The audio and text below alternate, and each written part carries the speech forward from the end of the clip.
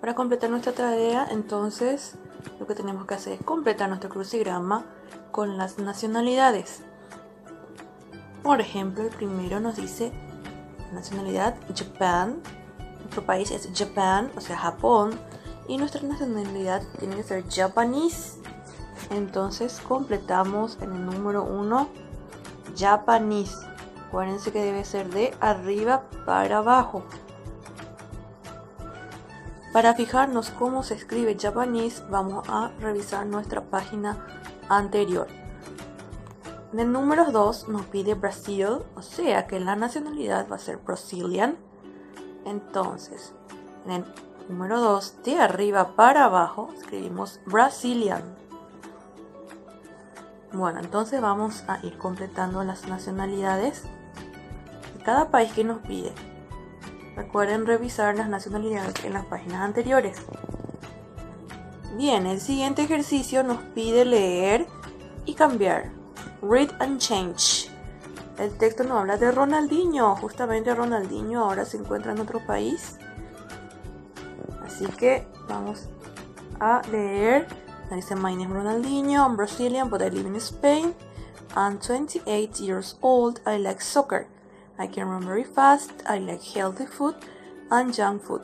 I like apples, but I don't like bananas. I like salads. I like hamburgers, but I don't like pizza. Mi nombre es Ronaldinho, soy brasileño, pero vivo en España.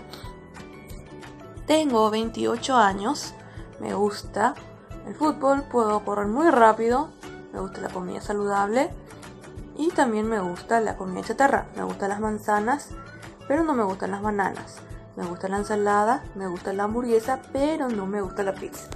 Bueno, ¿cómo vamos a cambiar? En este, en nuestro, en nuestro texto, Ronaldinho se está presentando. Entonces, en el texto que vamos a hacer nosotros, nosotros vamos a presentarles a Ronaldinho. Entonces, vamos a hacer de la siguiente forma. Ahí, por ejemplo, teníamos My name is Ronaldinho. Entonces nosotros le presentamos como His name es Ronaldinho. Después también decía. Vamos a ver qué decía. I'm Brazilian. Entonces nosotros vamos a poner. He is Brazilian. Es brasilero, ¿verdad? ¿Qué más nos dice? Pero vive en pero yo vivo en España, nos dice él. Entonces nosotros vamos a poner pero él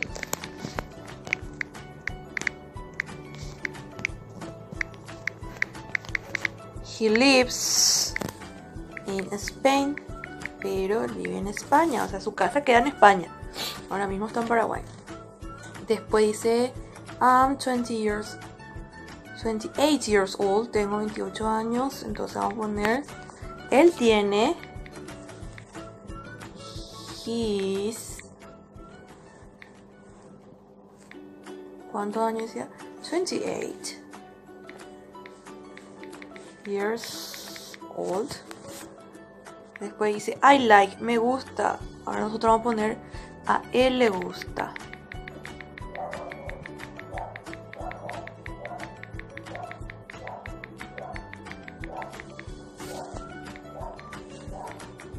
He likes.